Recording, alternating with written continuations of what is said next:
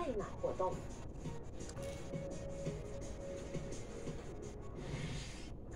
作为道路使用者，没有人会喜欢在马路上遇到坑坑洞洞。你想一下，轻则可能造成交通工具损坏，严重的话可能导致交通意外，威胁生命安全啊！好了，如果我们要统计一下，到底全马来西亚哪个情况受损最严重的三条马路，到底哪三条最烂的马路会入选呢？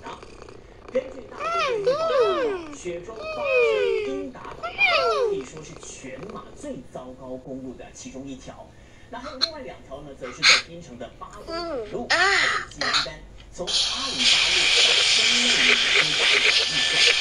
在马上的内评说，超载的重型交通工具违规上路，就是导致国内路面情况受损严重的主要原因呐。那根据大都会日报记者的走访呢，事发是位于雪州发生一百英达马的路基路，看起来就不像是一条能够行驶的路段。那记者更形容这里的路面情况就像是被炸弹击中一样糟糕，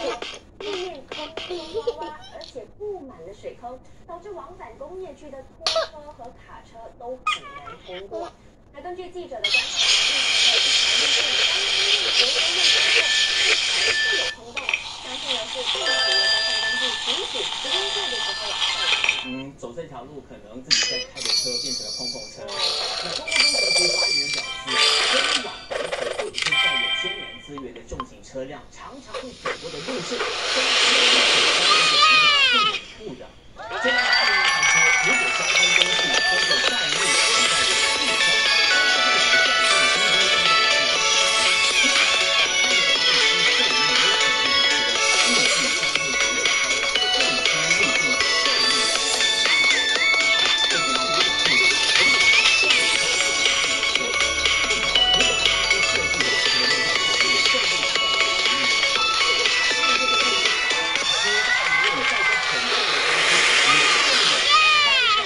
通过的话，那么这条道路的寿命最后只可能维持五年而已啊。那既然知道了问题所在，有关当局自然不会坐视不理。那根据记录，从去年年头到十月三十一号期间，陆路交通局 JPJ 一共充公了大约四十四辆超载的重型交通工具。那 JPJ 高级的呃高级指挥官洛克曼就表示，所有被扣查的重型交通工具啊，被发现载了规定限度的百分之七十到大约百分之一百四十。那他也提到，路路交通局始终都会优先考虑道路的可持续性，来确保道路使用者的安全。嗯，在当局确定把道路弄得安全之前，大家就只能小心为上哈。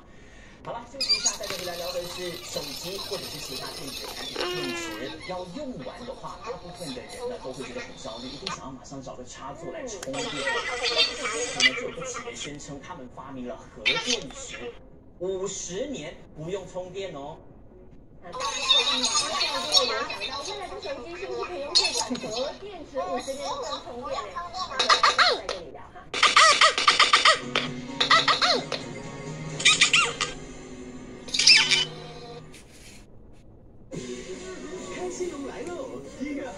及二十一日，来到槟城 Crispy Mall，与 TVB 和 Astro 艺人互动玩游戏赢奖品。再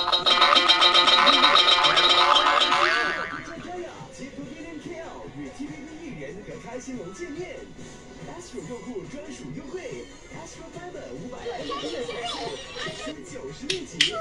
网速，添加好。